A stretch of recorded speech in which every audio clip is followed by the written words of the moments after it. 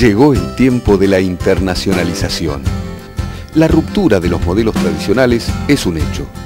Una mirada moderna sobre el comercio no distingue nacionalidades ni países de origen. Para ser un verdadero exportador hace falta pensar como importador, integrar las cadenas de producción, tener al mundo en la cabeza.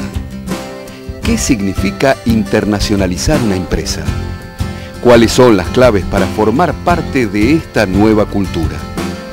La calidad de actualidad de la información, información en tiempo real, particularmente sobre cómo se desplazan o cuáles son los factores que están desplazando o pueden desplazar ventajas competitivas en el escenario económico global o regional es un factor clave para la estrategia de internacionalización de las empresas.